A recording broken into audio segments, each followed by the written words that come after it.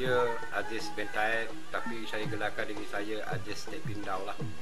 Ha, maklumkan tuan-tuan yang mana mengenali saya kenal lah yang mana yang tak kenal saya akan kenalkan. Jadi saya nak cerita sebuah sedikit tentang pertubuhan saya silat seni warisan Tepindau.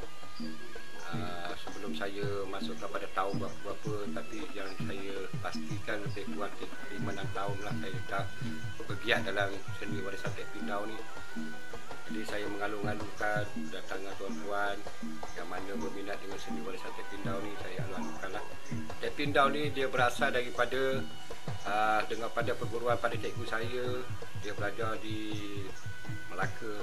Tapi tahun tu saya tak berapa ingat tetapi dengan long awam berhujang jadi saya terus menyambung apa yang saya faham sedikit tentang tepi ni. Berunikkan tepi ni tuan-tuan dia ada macam-macam dan kita akan mem mempelajari dia macam mana kita nak belajar menguatkan tangan kita cara kita mengguna dia faham cara jarak dekat jarak jauh.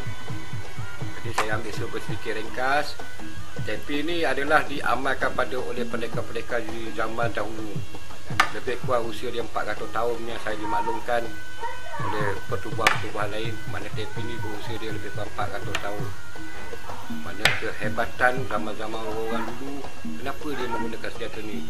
Apa saya dimaklumkan oleh cikgu saya tepi ni adalah raja segala senjata. Jadi saya berminat dengan tepi ni kerana dalam tepi ni terlalu unik. Tuan-tuan kalau kita faham macam mana cara nak memakai dia. Jadi saya uh, saya dulu kan dengan uh, saya dipahamkan oleh cikgu apa saya tepi ni siapa yang melatihkan dia dia boleh boleh me, apa ni kata orang menguatkan kita punya ketahanan mental fizikal kita penglihatan kita. Jadi saya yang suka mengamal kerana pertama sekali untuk menyihatkan tubuh badan kita lah. Jadi dengan ini saya berseru pada rakyat Malaysia yang mana ingin nak ingin tahu nak menguasai sedikit tentang ilmu tepi ni saya alu-alukan tepi ni diamalkan oleh orang yang dulu pendekar-pendekar dulu lah apa yang saya dapat tahu oleh guru saya daripada arwah Pak Ahmad Kediri dia belajar di Melaka.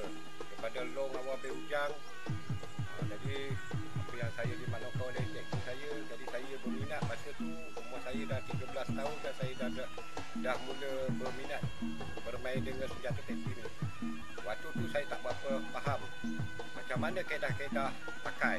Tapi sejak saya belajar serba sedikit jadi saya, saya faham. Yang dikatakan sifat-sifat ni yang perlu kita tahu ujung sangak dan pangkal. Kita me, kita mengguna dia di dalam senjata ni adalah dia boleh tikam di peringkat ujung. Tengah kita boleh mematahkan dia. Tengah ni kita boleh menangkap. Pangkal kita boleh memukul dengan pangkal di dinamakan muah tukul. Muah tukul ni makna kita bila musuh yang uh, ni apa ni rapat kita boleh memukul jarak yang dekat. Jadi sebelum saya bercerita secara lebih dapat lanjut, saya akan tunjuk kaedah-kaedah sempang dulu. Yang dikatakan sempang. Saya akan tunjuk macam mana teknik-teknik kita nak nak menyempangkan senjata musuh. Kita bayangkan satu benda yang datang contoh dia barang ke kayu ke yang nak datang naklah kita menyempang. Pukul dulu yang, yang ini yang dikatakan menyempangkan barang. Ini ini nama kat sempang. Tumbuk. Lepas dah tumbuk pukul. Ha, ini nama dia pukul dan kita akan memukul lagi. Ini nama dia menggunakan tengah kita mematahkan musuh. Tarik ini pukul. Ha, ini nama dia. Sempang tumbuk pukul Oh.